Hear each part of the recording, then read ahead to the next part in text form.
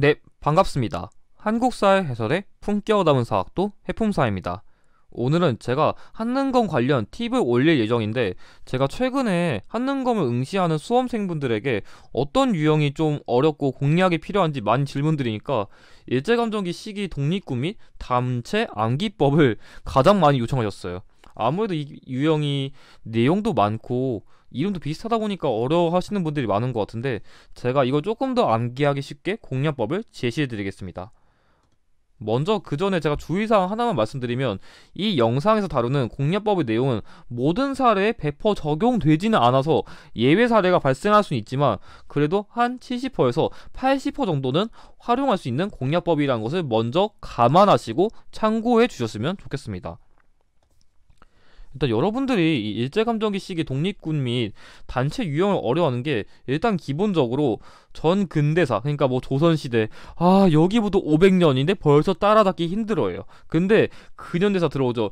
100년 사이에 뭐가 마구마구 나와요. 연도도 짧아 내용도 깊어. 그러니까 여기 들어오면 일단 기본적으로 무너져요. 그러니까 여기 유형을 딱 암기하기 어려워하는 것도 있는데 그 두 가지 요인이 일단 첫 번째로 단체 이름이 너무 비슷해요 그 가령 뭐 대한 독립군, 한국 독립군, 대한 광복회, 한국 광복군 와 환장하는 거죠. 아 물론 조상님들이 정말 너무 훌륭하시고 진짜 그때 우리나라를 위해서 열심히 싸워주신 정말 훌륭하신 분들은 맞아요. 그거를 욕할 수는 없는데 그래도 시험 공부는 너무 힘든 게 맞죠.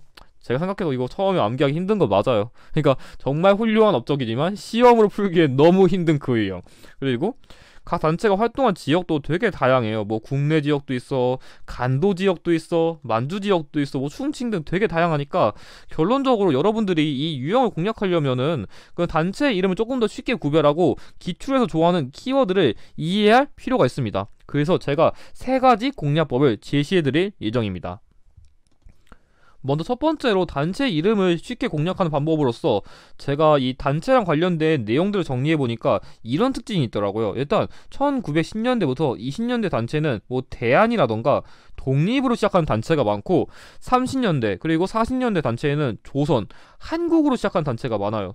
예로 여기 뭐 대한광복회, 뭐 독립의군부, 대한국민의회, 뭐 대한관복군 정부, 뭐 대한인 국민회 이런 식으로 뭐 대안이라던가 독립으로 시작한 단체가 많다거나 아니면 1930년대, 40년대의 경우에는 뭐 한국, 조선, 조선, 한국, 한국 이런 식으로 어 그나마 조상님들이 나름 어떠면 배려를 했는지 재밌게도 이 1920년대랑 3, 40년대 단체가 이런 식으로 조금 나눠지는 게 있더라고요. 아 물론 예외적으로 이런 대조선 국민군단 이런 거 같은 경우에는 조금 이 조건에 안 맞긴 해요. 근데 일단 이 틀만 잡아놔도 아 10년대, 20년대 단체는 이런 이름이 많고 3, 40년대는 이런 이름이 많다.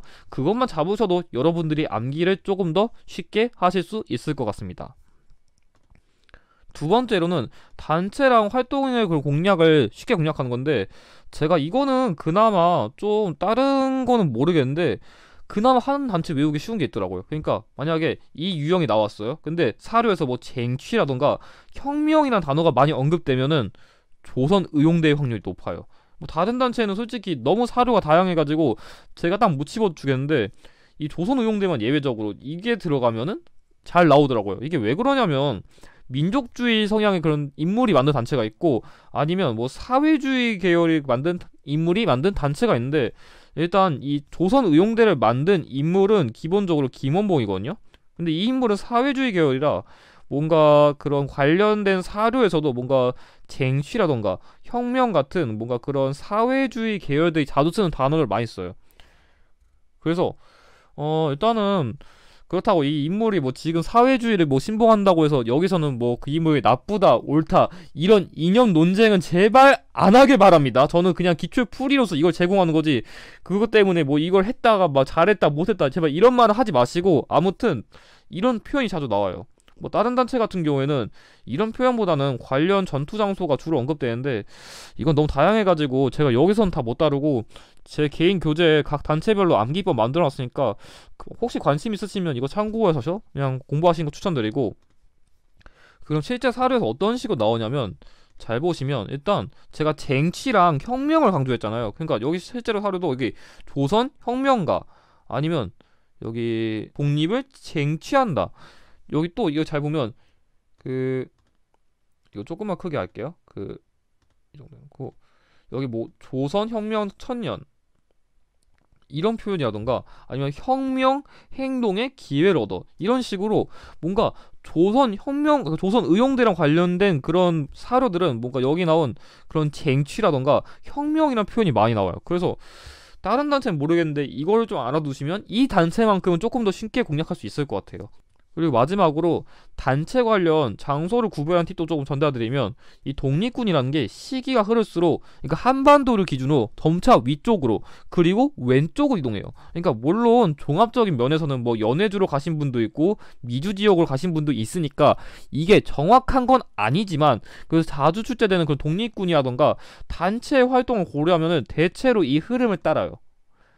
그래서 뭐 대충 예시로서 10년대 같은 경우에는 국내가 위주고 20년대에는 간도 및 만주. 참고로 간도가 만주의 범위에 속해 있는데 그냥 좀 편의상 간도랑 만주로 나눈 거고 30년대에도 뭐 초반쯤에는 뭐 북만주, 남만주 이렇게 활동하다가 후반쯤에 들어오면은 뭐 우환이라던가 충칭 이런 지역으로 그러니까 중국 지역 내로 아예 이동하는 거 봤을 때 점차 한반도에서 위로 그리고 왼쪽으로 이동한 특징을 보여줘요. 이걸 조금 더 자세히 보여드리기 위해서 그러니까 뭐 여기 기본적으로 여기 국내에 있는 단체들은 대체로 그런 단체가 있어요. 뭐 독립 의군부라던가 대한 광복회라던가 그러니까 신년대 단체는 여기 한반도 내에 있다가 이게 점차 이제 올라와 가지고 여기 보듯이 뭐 북로 군정선군이라던가 아니면 여기 대한 독립군 이런 단체들은 또 간도에서 활동하고 또 뭐 1930년대에도 여기 뭐 북반주 남만주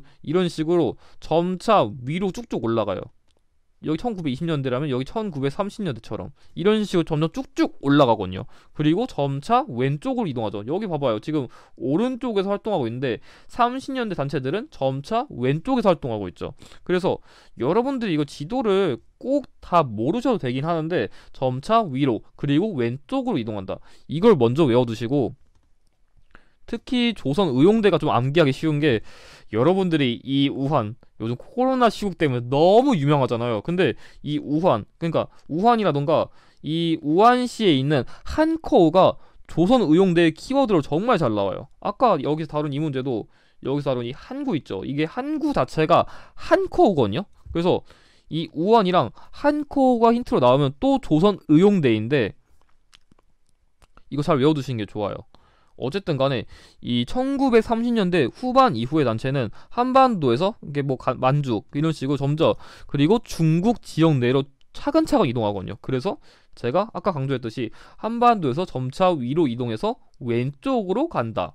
이런 식으로 아 독립군이 이런 활동의 흐름을 가져왔구나 그걸 좀 암기하시면 왜 독립군이 이런 흐름을 가져가고 어느 지역에서 활동했는지 암기하기가 조금 더 쉬워요 그리고 여기는 한국광복군과 관련된 위치인데 그러니까 여기가 조선의용대 여기가 한국광복군. 그러니까 최종적으로 국내에서 시작해서 간도 만주 그리고 중국 지역으로 이렇게 쭉 이동했다.